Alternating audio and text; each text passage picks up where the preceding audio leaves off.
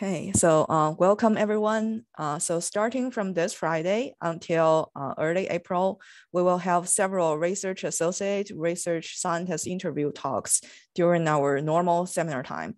And, and also um, there will be some talks on Wednesdays. So um, please keep a close eye on the emails you receive from uh, search committee members about the time of these talks and also signing up to meet with these candidates and uh, provide feedbacks. And your feedback is uh, very important for um, this hiring process.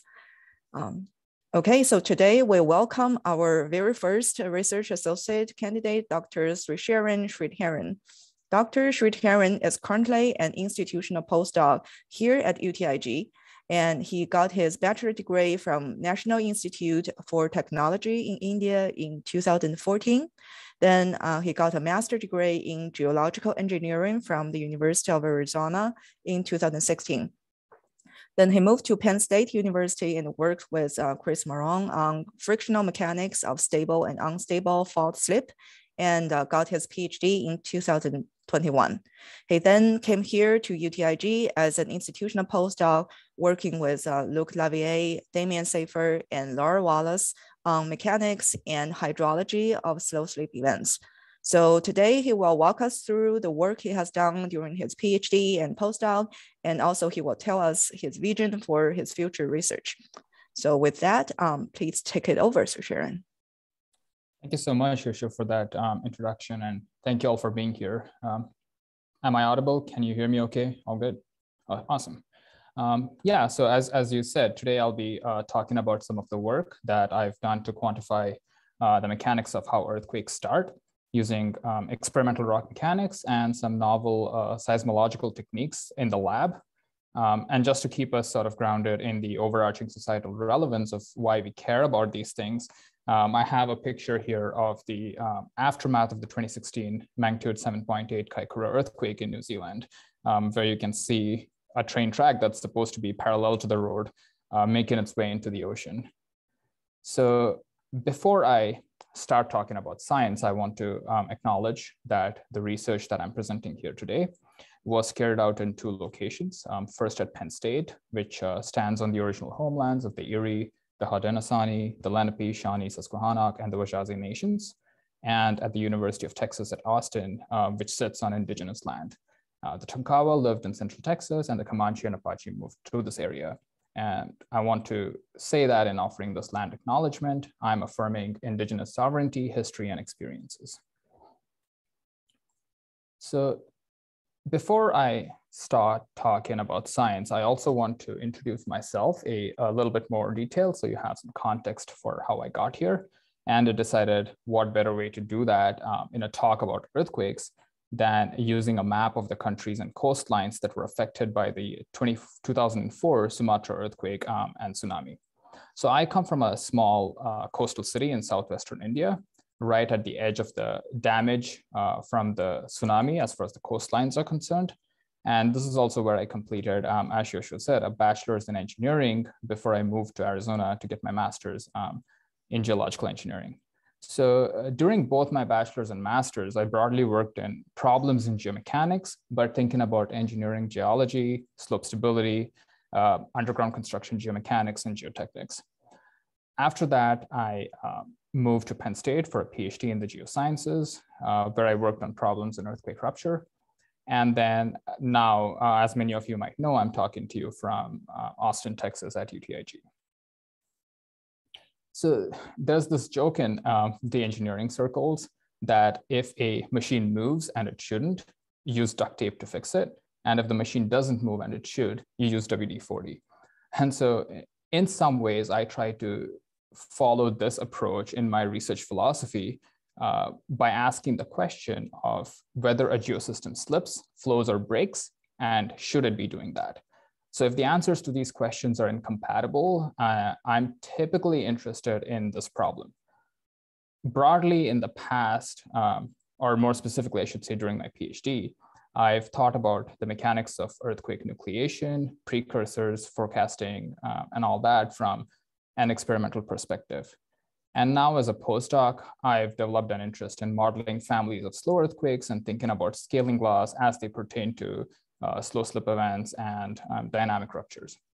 And going forward, I want to uh, focus on granular and frictional processes broadly in the context of geohazards like earthquakes, um, landslides, volcanoes, volcanic flank instabilities more specifically, and the mechanics of basal friction in ice sheets. So the science portion of my talk uh, is divided into three parts, and the bulk of which is in this first pass part, focusing on my past. Uh, then I'll spend five or 10 minutes talking about what I've been up to at um, UT and segue into my future goals and vision for a um, research program at UTIG specifically. Okay, so for the first part, um, which focuses on the seismic signature of earthquake nucleation, I had the wonderful opportunity to collaborate with a number of folks at Penn State, as Yusha mentioned. Um, Chris Marone in geosciences, um, Chas Bolton, who also happens to be an NSF postdoc at UTIG right now, um, and Jacques Riviere and Parisa Shokouhi, who are professors of applied mechanics and ultrasonics at Penn State.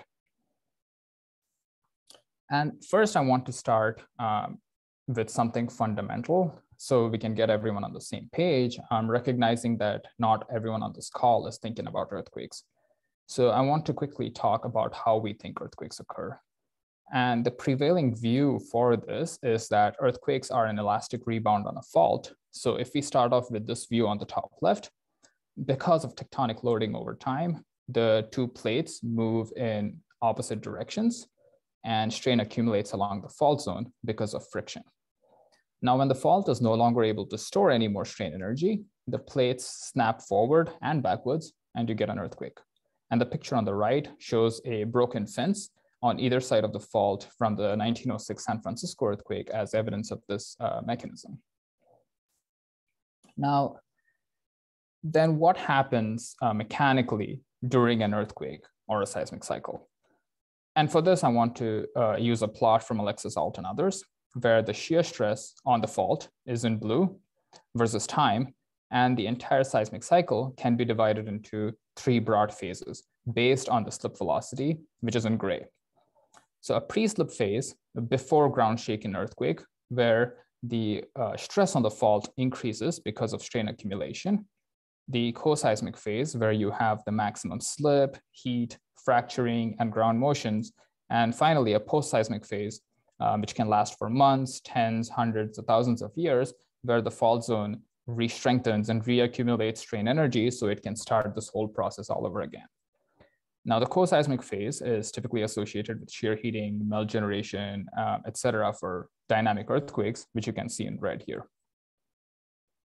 Okay, so let's take this a step further and ask what happens when an earthquake is just about to begin?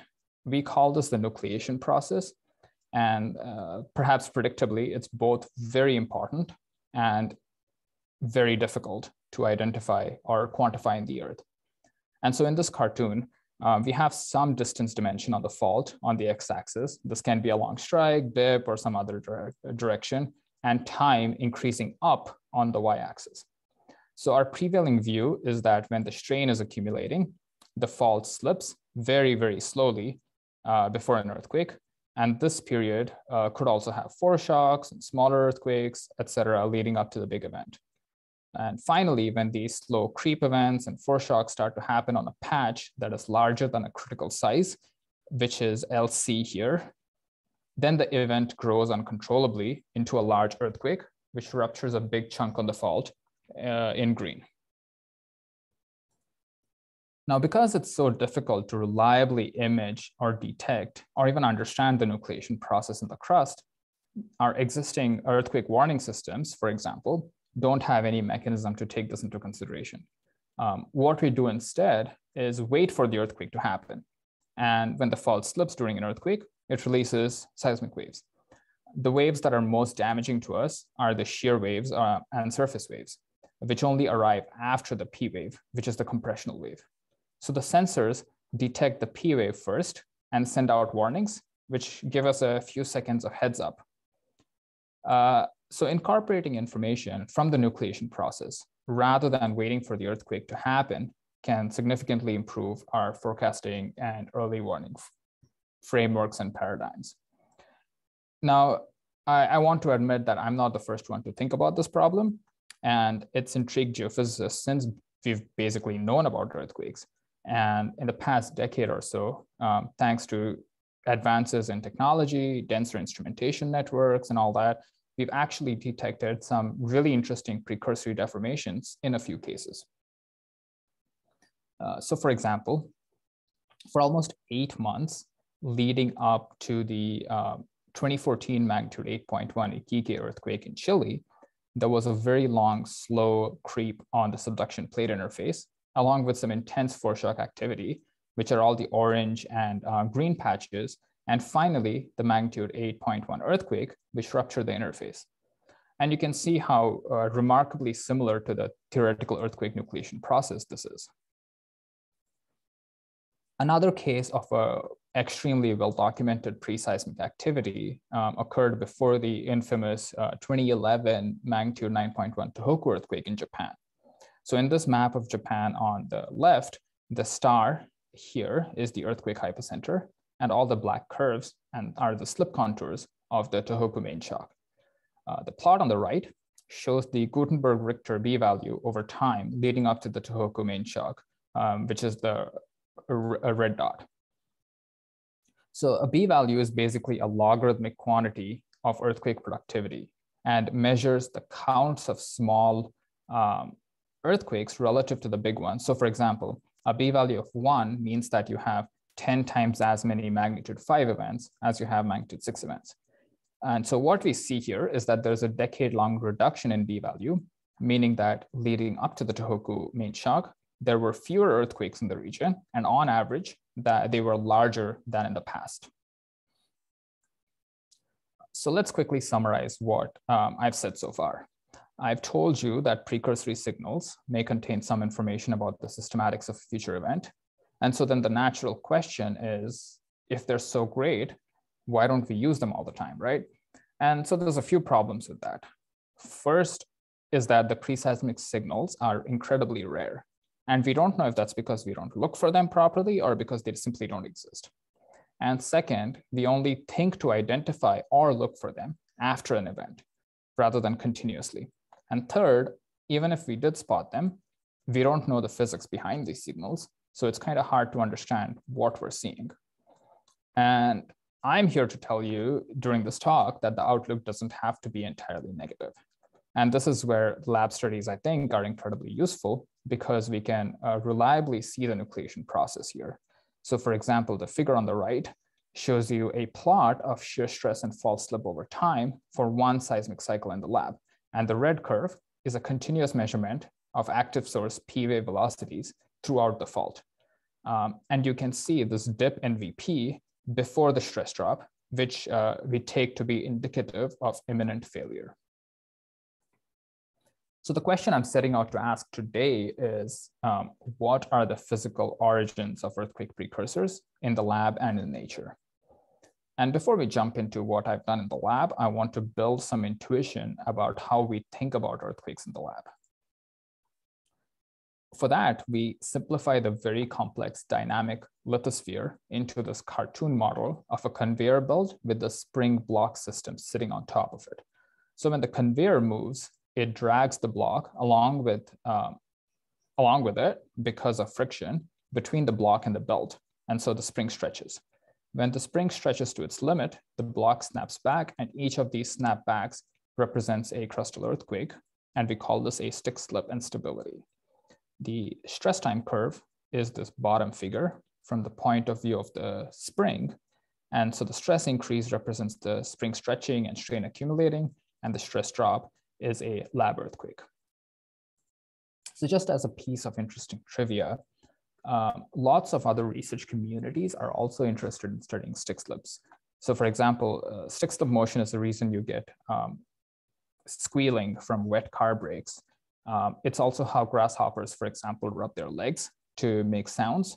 And stick slip is a um, very undesirable outcome during drilling. So drilling engineers are also interested in this.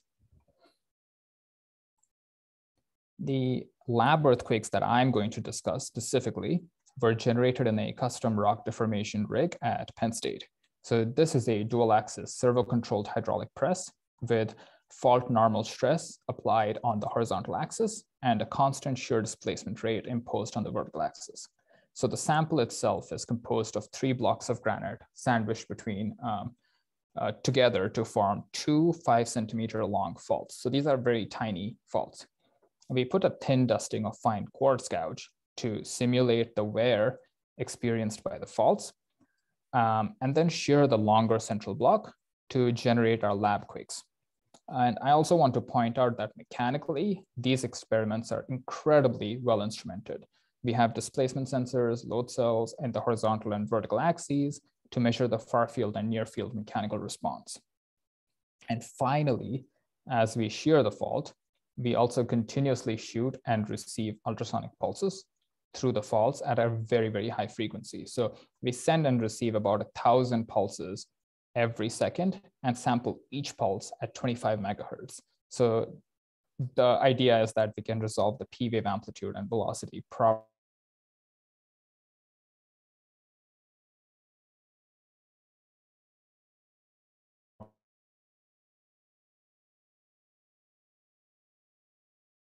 properly. So even faults and cracks that look flat are rough on some scale microscopically and look something like this. The, the high frequency ultrasonic waves that I use have wavelengths that are longer than the width of these faults. So when these pulses propagate through rough faults with tiny um, load-bearing asperities or contact junctions, they can either pass through an asperity, such as this one on the right, or through a gap like this one on the left. And when pulses pass through an asperity, there are less transmission losses. And so the elastic wave amplitudes and velocities are higher. When they pass through a gap, the amplitudes and velocities are reduced. So as the fault is being sheared, observing these pulse properties and how they evolve can inform us about the real-time evolution of frictional contact area. And hopefully this can tell us something about the earthquake nucleation process in the lab.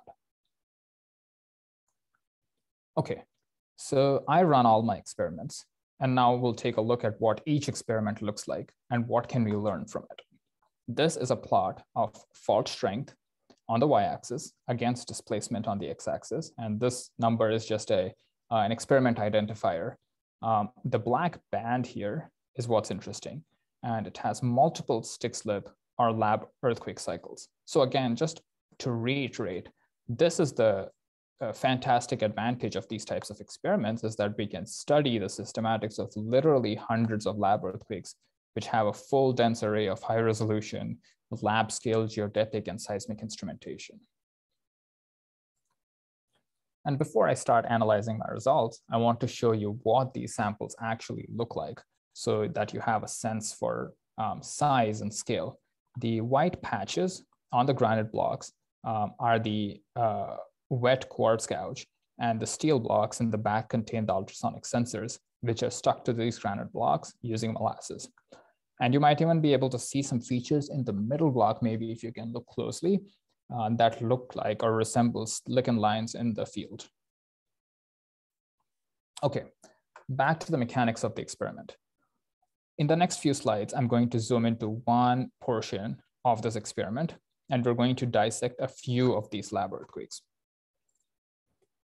First, uh, we'll look at the shear stress evolution over time for three events. Um, the stress increase, as a reminder, is the interseismic strain accumulation, and the stress drop is the actual rupture or lab earthquake. And so in our experiments, you can actually hear the stress drop and it'll sound like a clap. Um, next, here I'm plotting the evolution of P wave amplitudes for these lab earthquakes in purple.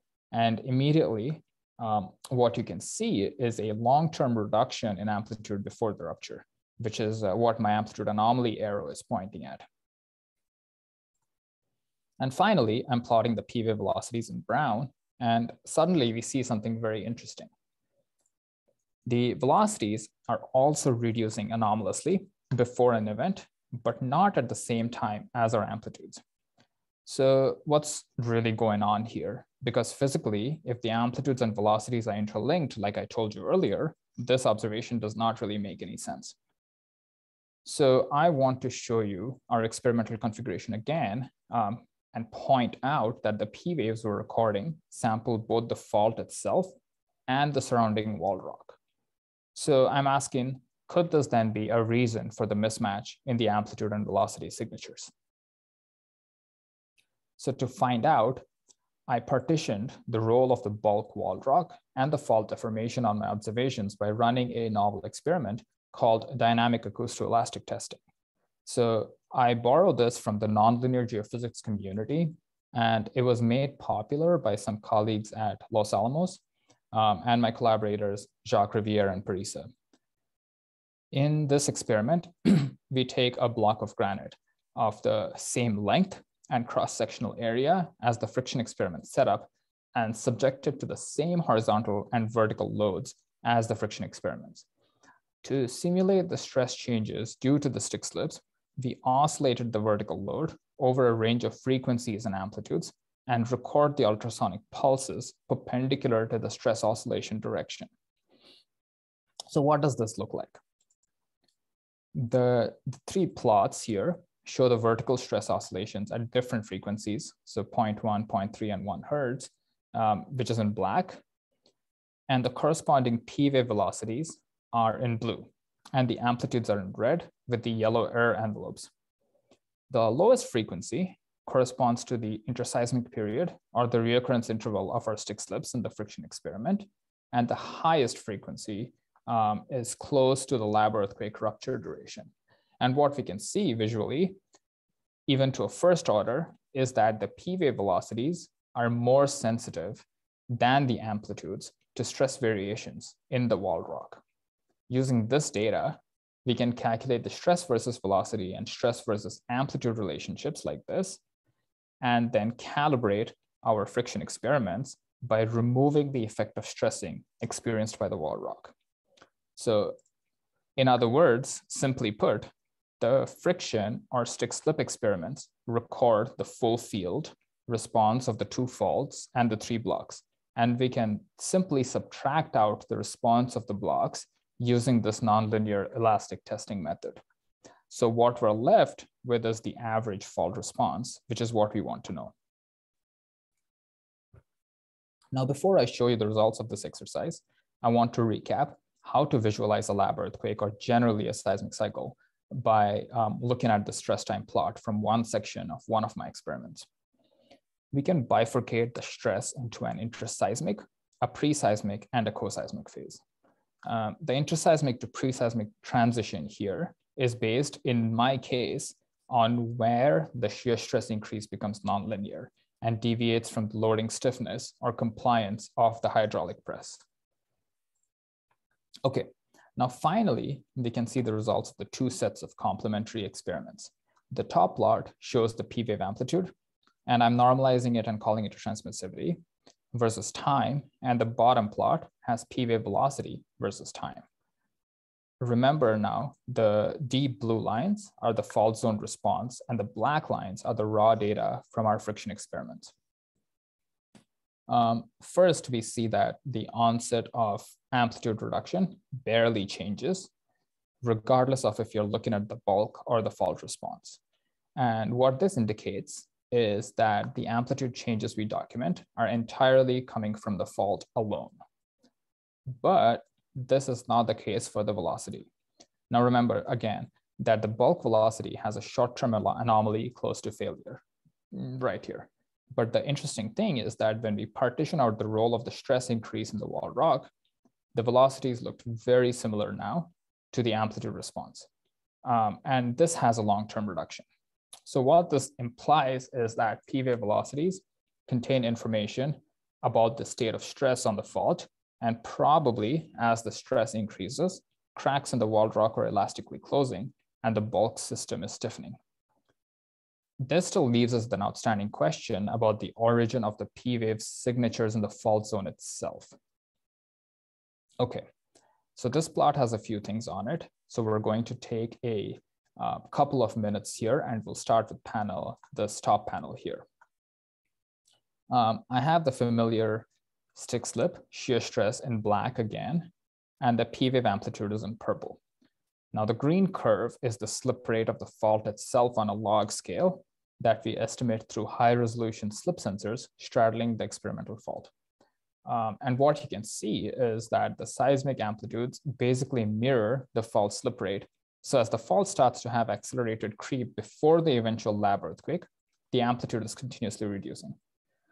Thinking back to our original model here for the real contact area, this means that as the fault slips faster when an earthquake nucleates, the real contact area is shrinking and drives the P wave amplitude and velocity reduction in the fault itself. So what does all this mean for crustal faults, which are you know, significantly much, much more complex? so to answer that, we're going to take a quick trip to Italy on this map, where I want to talk about the 2016 um, earthquake sequence. So this was a pretty complex multi-fault rupture that began with the um, magnitude 6.1 Amatrice earthquake to the south, then the 5.7 Visso earthquake in the north, uh, where you have the beach balls here, and finally the 6.1 Norcia, 6.5 uh, Norcia earthquake in the middle. Now on the right, the plot shows time since the Amatrice earthquake um, on the x-axis, and I've marked this dashed vertical line to indicate the final earthquake in the sequence, the North Norcia earthquake on day 67. Um, on the y-axis, you have percent changes in the p-wave velocity at two seismometers, which are colored red um, and blue on the map here. So the p-wave velocities are from a time-lapse uh, crustal tomography study that was done using teleseismic earthquakes are earthquakes that happened very far away during these 70 days and sampled the lithosphere in the area. Um, what this group, Claudio Chiarabba and others saw is that the red seismometer, which is close to the um, Norcia earthquake hypocenter, there was a P wave reduction or velocity reduction um, for about 20 or so days leading up to the event, which they interpret as the nucleation process. But they don't see this precursory signature on the seismometer further to the north. Now comparing this with what I've showed you in my lab study on a tiny five centimeter fault on the left, that I have the same X and Y axis for my lab quake. The red curve is the fault zone VP, um, which tracks the pre-slip and the nucleation process. So you can see a very clear precursory reduction. The blue curve is the raw signal from my friction experiments, which tracks the stressing of the wall rock as well as slip on the fault. And you can't see the precursory nucleation signature uh, particularly clearly. So what these two observations are telling us is that lots of earthquakes in nature could potentially have these types of preparatory or precursory phases, but their signal may not be strong enough because it's drowned out by other signals like from tectonic loading in the far field. And so I'm making a case for denser instrumentation in high risk areas, but also that we need to come up with clever ways to quantify and correct for these external uh, tectonic signatures, like we do in the lab. Okay, so the summary or the take home message from what I've said so far is that changes in seismic or elastic wave properties um, can contain lots of rich information about the state of stress in the crust and the earthquake nucleation process. And going forward, I want to leverage this for quantifying earthquake risk and forecasting. Okay, now I want to spend the rest of my time, maybe the 15 or so minutes left, um, talking about some of my current work on slow slip and subduction zones and how it meshes with my plans for uh, future research initiatives. Okay, so I'm interested in the study of slow slip events, um, specifically in subduction zones, um, which are basically an entire family of earthquakes, which are far slower than your conventional dynamic um, ruptures that last for a few seconds. So slow slip events can last for many weeks or even months rather than uh, just a few seconds. And one of the questions I'm interested in asking uh, is simply, why are slow slips events slow? And without getting into too many details, certain frictional properties determine whether a fault can nucleate an unstable earthquake or if it will prefer to creep quietly. The first requirement for earthquakes is that the fault strength should decrease as it slips faster. And we call this velocity weakening friction. So in this plot on the left, uh, top left, when I increase the sliding speed of the fault in an experiment, the friction will first increase, then decrease to a new value. So what my first requirement here says is that the new strength has to be lower than a previous value. And we measured this in the lab, um, not quite creatively, as A minus B. Now, this change in strength will take place over a distance called d sub c, or what we call the critical slip distance. And this term is directly proportional to this LC uh, critical nucleation length scale in earthquake nucleation models. The second requirement is that the fault should be able to heal. Healing is the idea that the fault is able to regain its strength that it lost during an earthquake um, interseismically so that it can rupture again. So without healing, a fault can only rupture one earthquake and then it's done. I'm going to show you examples of both of these requirements in the next few slides. Okay, to answer the question of why slow slip is slow, I focused on uh, shallow events in the northern Hikurangi margin offshore Gisborne, New Zealand, um, where uh, I know a lot of folks at UTIG are already working on this, um, where I sailed on an IODP expedition and collected some deep rocks and lithified sediments um, and conducted friction experiments on the sediment material that may be hosting these events. Um, the manuscript that discusses this work actually just got published a few days ago, so I do um, urge you to check it out if you're interested. Without getting into a lot of details, the degree of velocity weakening, or A minus B, was thought to be somewhat constant uh, for a long time um, based on lab studies. What we found was that this A minus B term, or the degree of velocity weakening, in fact depends on how fast the fault slides, as does this D sub C, or the critical slip distance. So these sediments from Hikurangi, our idea is that they start off as velocity weakening but as an earthquake starts to nucleate and the fault accelerates, the fault starts to grow stronger and stronger and buffers out um, an all out fast earthquake. And what's more fascinating is that when we incorporate these, so remember, we measure these on tiny centimeter scale faults. When we incorporate these into numerical models on the bottom right, um, which is something I've been working on with Luke, the velocity dependence of the friction terms significantly slows down earthquake propagation speeds. So here um, in this panel, if the parameters were constant, like we previously thought, you have earthquake rupture velocities of you know, kilometers per second, which is typical for dynamic earthquakes that last a few seconds. Now, when I incorporate the velocity dependence of A minus B into my earthquake rupture, it slows it down significantly and makes the earthquake now propagate for days. So it's now propagating at kilometers per day speeds.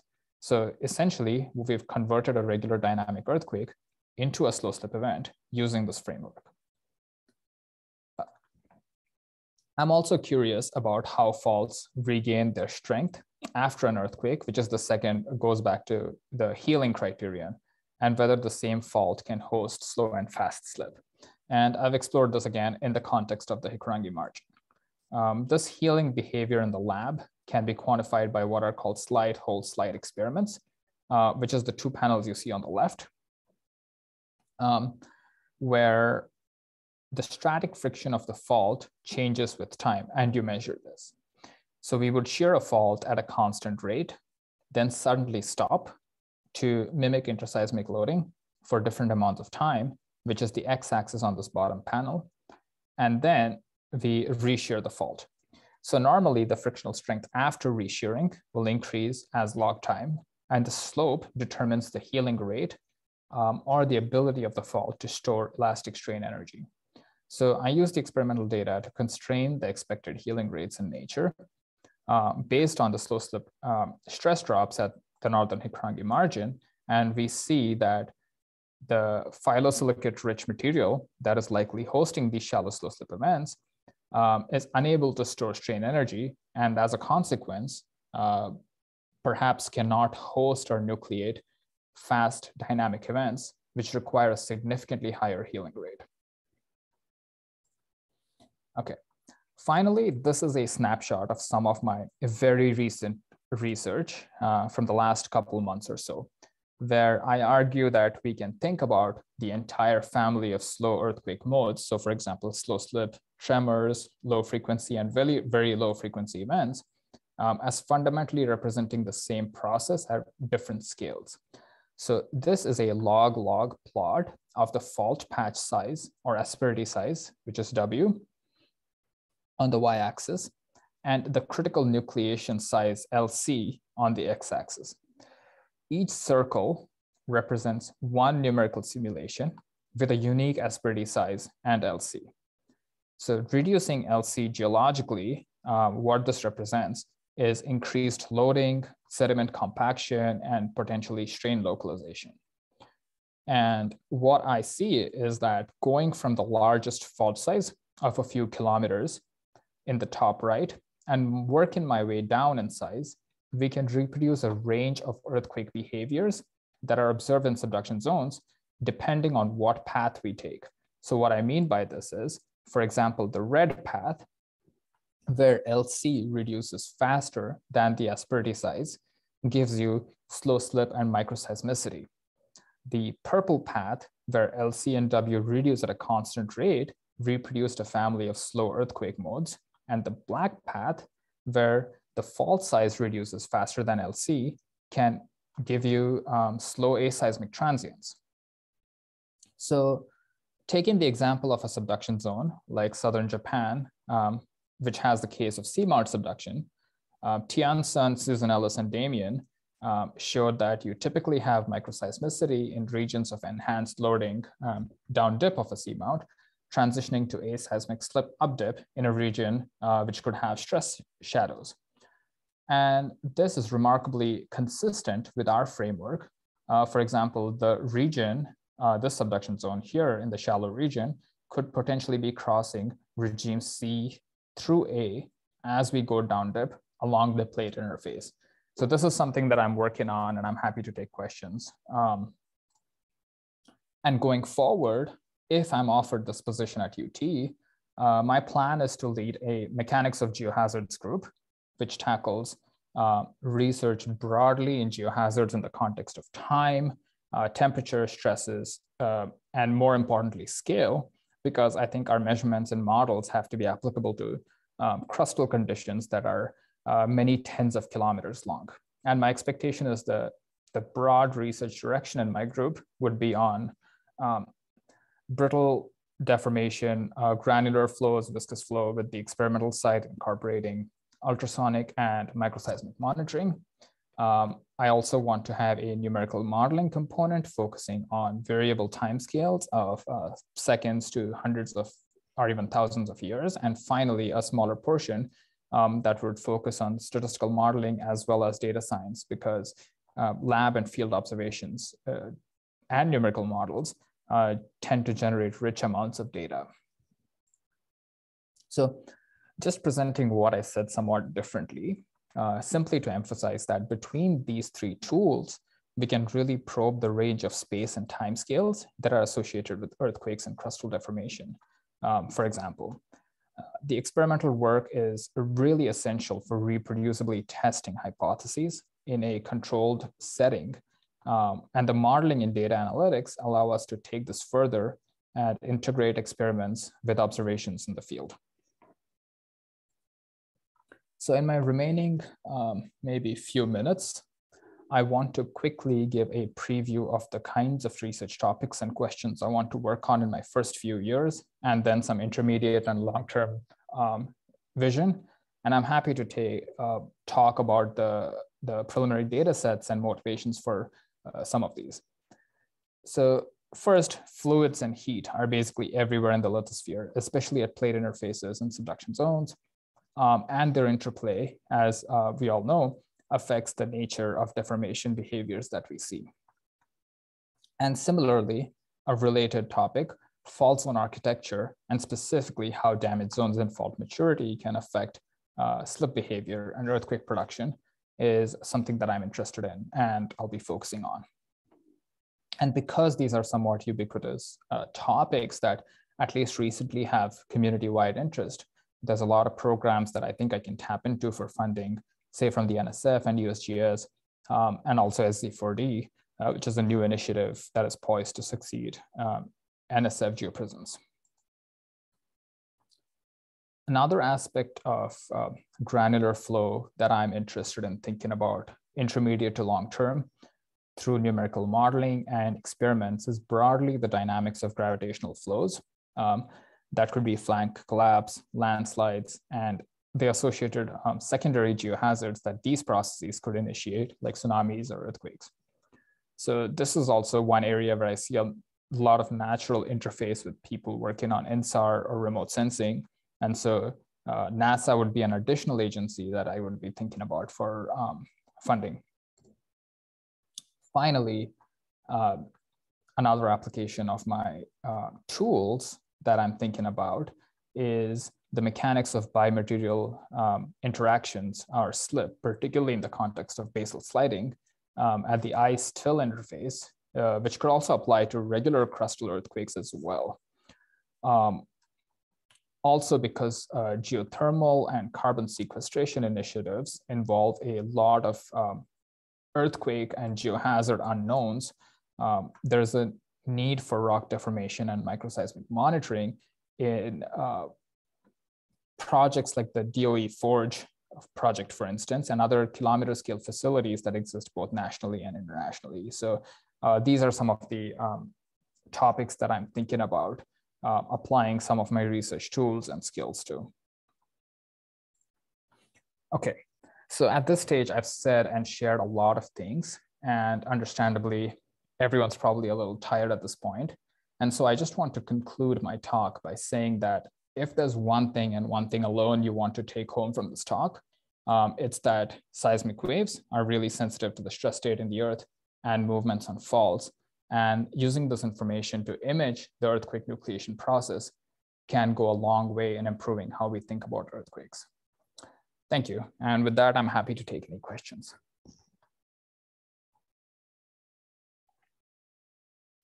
Great. Thank you for the talk, Srisharan. Thank you. So now we have time for questions. Um, you can raise your hand or type in the chat um, box and, um, and we will go one by one.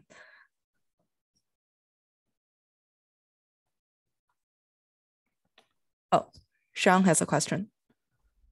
Yeah, uh, thanks. That was a, a, really interesting talk. Um, I was curious about the sediments uh, samples that you were able to measure this velocity strengthening component um, mm-hmm. from offshore and then you were able to con- connect that into a modeling where you got to the point of uh, of a slip at say kilometers a day. We're, yes. we're still not to a true you know long term slow slip, and I'm wondering if that if that evolution of properties can keep going to the to you know into even more velocity strengthening and even slower processes, or if we need some other mechanism to get to the point of kilometers a year or whatever it takes that you know for the longest. Yeah, yeah. Yeah, no, that's that's a really good uh, point, and this is just one instance of one model, and really, you know, we can get as slow as you want or as fast as you want simply based on the slope of these terms. So, for example, here I just have one example slope that is a square root relationship. But you can see the scatter in the data indicates that that exponent does not have to be a square root. It can be really anything. Same with this, right? There is uh, you have a velocity at which it seems to transition, but presumably that both the velocity as well as the eventual slope are changing depending on the lithology. And that's kind of what we're seeing as well. So for example, experiments on just quartz have a constant A minus B. It's only when you add other additives, um, adulterants, like uh, phyllosilicates, for example, that the, the slope tends to change. And so I think just changing those slopes and playing around with those parameters um, gets you to really whatever velocities, rupture velocities you want. You can make them really slow, really fast, and also change the slip rate, for example. And the, changing the slip rate, the maximum slip rate in a given location on a fault, that is something that um, um, KJ, one of my colleagues from Caltech, uh, worked on with Jean-Philippe and Demian. And this is work that was published a couple years ago in Nature Geoscience. Great, thanks. Yeah. Daniel, you want to ask your question? Sure. Yeah, was, that was an excellent talk. Um, can you talk a little bit more about um, your ideas of how you can integrate this type of research um, beyond the the earthquake sphere, which is obviously very close to my heart, but um, you mentioned, you know, applying these types of analyses of, you know, frictional behavior to things like ice sheets and basal processes. And I was just wondering if you could expand upon that a little bit, because um, I think it'd be of interest to a lot of people in the discussion. Yeah. Um, so right now I've just worked on um, earthquakes in, in the in the recent past, right? But there's also a lot of uh, I think curiosity in thinking about, for example, uh, how how do landslides behave? Um, these are granular flow processes that involve significant um, uh, uh friction but also these are processes that are um, at the interface of extremely low effective stress. So we're thinking about gravitational flows that are um, happening in systems that are key, kilopascals of stress. So for example, you have a, a region where a landslide is happening and this movement of a significant mass of rock or sediment is changing the effective stress in that region, right? There is one question, which is how does the landslide itself evolve? But then there's the other question of what happens when that mass of rock or sediment has been displaced. Your effective stress, effective vertical stress in that region is changing.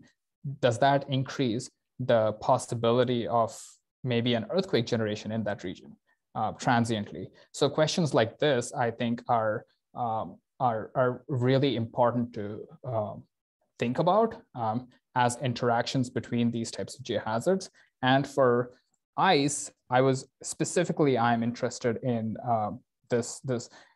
So, well, one type of two-phase uh, interactions that I discuss is here, where I'm talking about in subduction zones, you know, what if there is a mixture between brittle and viscous uh, deformation that comes from something that is very strong, like carbonates, interacting with something that is very weak, like phyllosilicates in ice, you have a very similar, but also somewhat different interaction in that you have one block of ice sliding over till. And so that is a different style of bimaterial frictional problem uh, that has not really been explored uh, in a great detail, I think, in the rock deformation community. There's definitely a few groups that have made a lot of headway. For example, uh, Christine McCarthy at Lamont, for instance, who has thought about these types of problems. But I think there's this is ripe for exploration, uh, particularly in the context, say, of slow slip in uh, uh, in Antarctica, for instance. So that's that's where I'm coming from. Perfect. Thank you. Yeah. Thank you.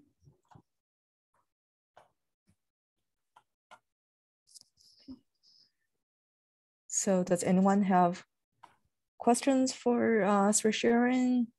Please raise your hands.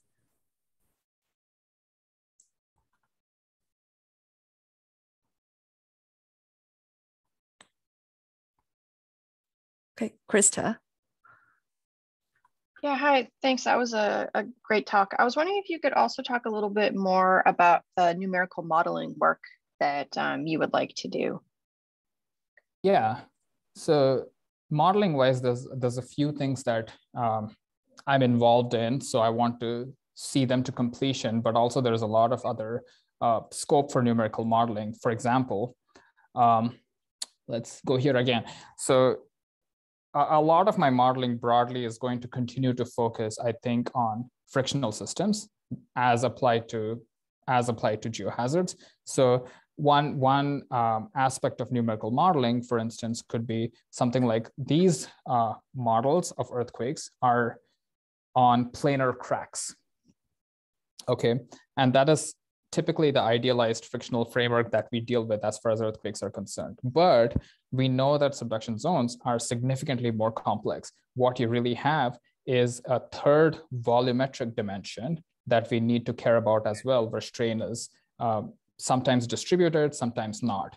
So thinking about numerical models that can incorporate this kind of a, of a third dimension in the shear zone um, is something that I'm interested in and currently also actively working um, with people here on. Another aspect of uh, modeling, again, goes to uh, slightly towards bimaterial friction in that these models have no way of uh, directly thinking about how earthquake rupture would propagate in the two different contrasting compliance materials. This model at this stage does not care about those kinds of questions. So thinking about addressing uh, the, the earthquake problem or the rupture propagation or ground motion problem from a bimaterial framework would be something that would be interesting to me. Thank you.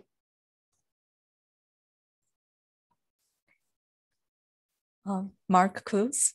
Hi there. Uh, very Hello. interesting talk there. Uh, I look forward to meeting you.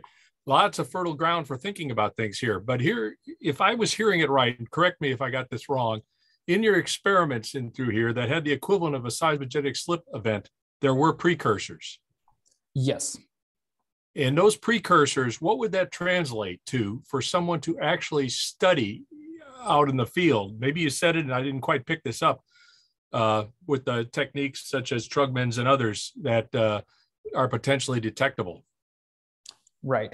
Um, so directly addressing that question, one thing is simply work that Daniel has done in the past, for instance, is thinking about uh, your magnitude of completeness and looking for foreshocks where people have previously thought there weren't any. So for example, the lower you go in resolution, you might find that there are foreshocks of magnitude one, magnitude zero, et cetera. So really going down to a small resolution to look for foreshocks in very local zones um, um, in the volume rather than thinking about the crustal volume as a whole, I don't know, 10 kilometer by 10 kilometer patch.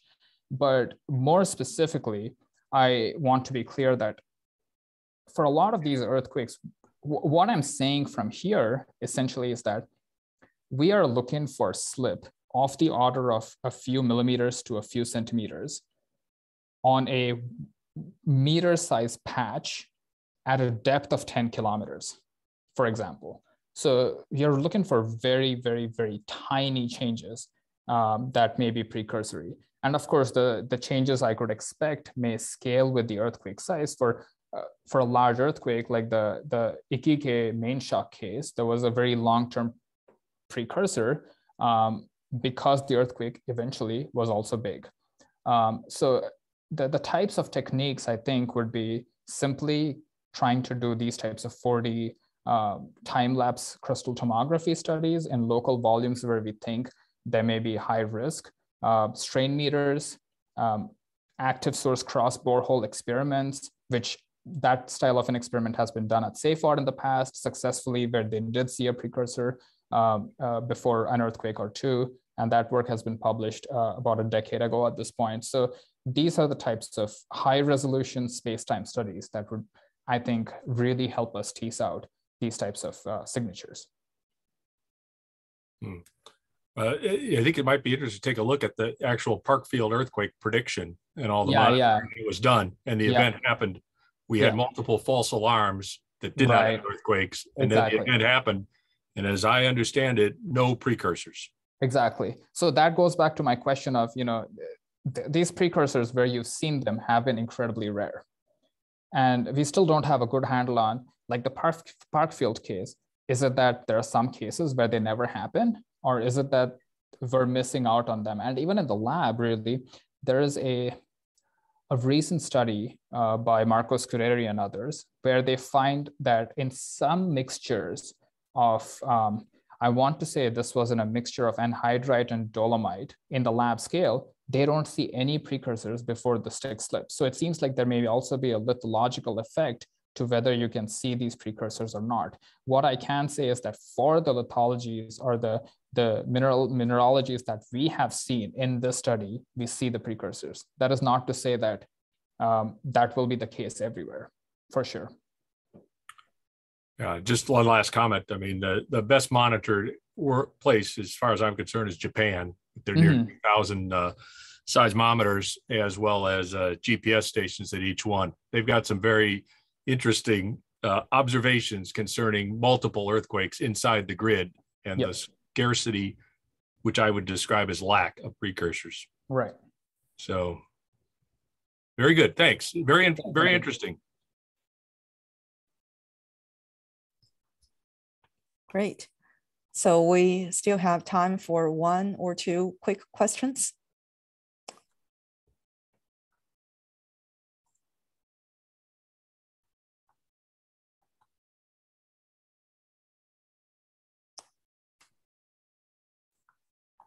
Okay, um, if not, then um, let's thank uh, Dr. Srisharan Shreedharan again and um, and good luck with the rest of your interview.